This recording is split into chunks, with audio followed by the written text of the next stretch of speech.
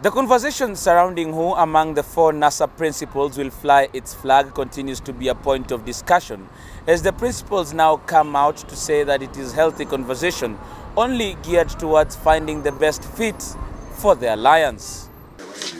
The Orange Democratic Movement and the Amani National Congress engaged each other on Tuesday over statements attributed to ODM Secretary General Agnes Zani who considered that a document showing Raila Odinga as the flag bearer and Kalonzo Musyoka as his running mate was a steering committee document. Ikiwa ni kweli katibu mkuu wa ODM alizungumza yale aliyazungumza, basi ana budi ila withdraw publicly, kwa sababu we have not agreed. Nothing is agreed until it is agreed. Oh, yes. oh, yeah. Yeah? Members of the steering committee are playing down that admission.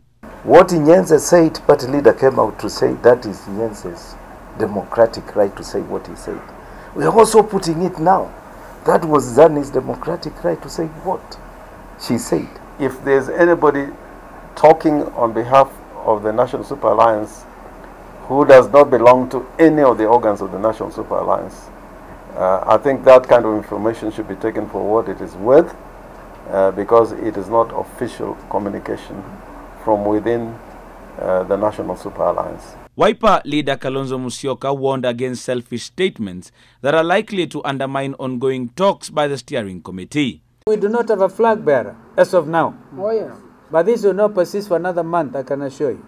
Kalonzo Musyoka also held a brief meeting with ANC leader Musalia Mudavadi at Wiper party headquarters, with the duo later playing it safe when asked about the import of it.